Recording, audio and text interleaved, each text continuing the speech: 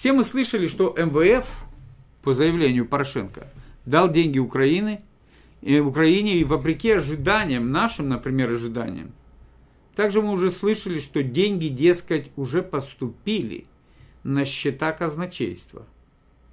На самом деле это не так. Э, Алена, поговорим чуть позже про Юльку. Сейчас я прервусь, и мы поговорим. На самом деле это не так. МВФ Украине денег не давал. Речь идет только о финансовых гарантиях на определенную сумму. Что это значит? Это значит, что МВФ дал гарантии, а теперь господин Порошенко должен решать и искать, где взять кредит, используя эти самые гарантии. Что это значит? Это значит, что кредит будет взят в коммерческом банке, а не в МВФ. А это совсем иная история. Процент будет не льготный, а самый настоящий коммерческий процент. Около 10%. Вот что произошло. Сейчас МВФ дает всем банкам заработать на Украине.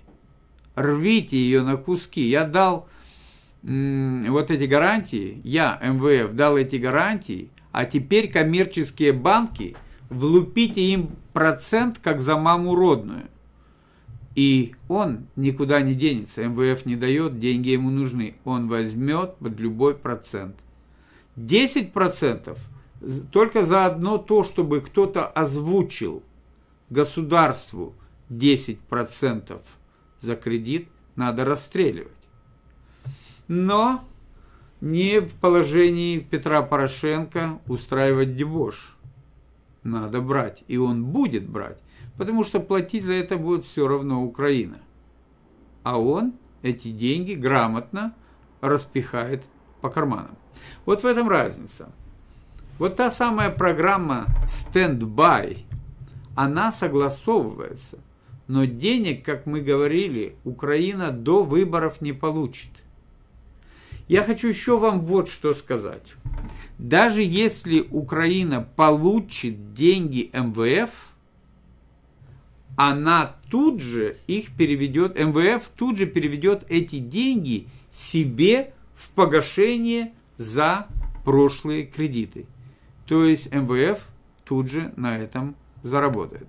Мало того, МВФ, выделяя кредиты, всегда оговаривает, что без согласования МВФ эти деньги не могут быть использованы там на таких-то, таких-то или каких иных обстоятельствах, причинах без согласования с МВФ. То есть МВФ должен согласовать эти самые платежи. Это, кстати говоря, еще одна причина, почему не платят русским. МВФ дает кредит, но не дает разрешения погасить этим кредитом долги русским. Даже если бы Порошенко хотел это сделать, МВФ на это не согласен. Так, Злыдня, добрый вечер, уважаемые ведущие, уважаемые зрители. Всем счастья и здоровья в наступившем году. Алена Народ, Юлька, актриса, на порядок лучше Порошенко. Вы знаете, э, все, наверное, наверное, лучше. Если прийти на кладбище, то даже самый старый дед будет выглядеть лучше всех там находящихся. Это не значит, что Юлька хороша. Юлька, вообще говоря, это отработанный материал. Это сбитый летчик чью сторону уже смотреть нельзя. Будет ли смотреть украинский народ в ее сторону?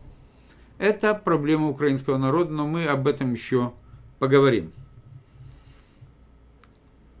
Не такая уж и злыдня. Да, вы, но вы правы.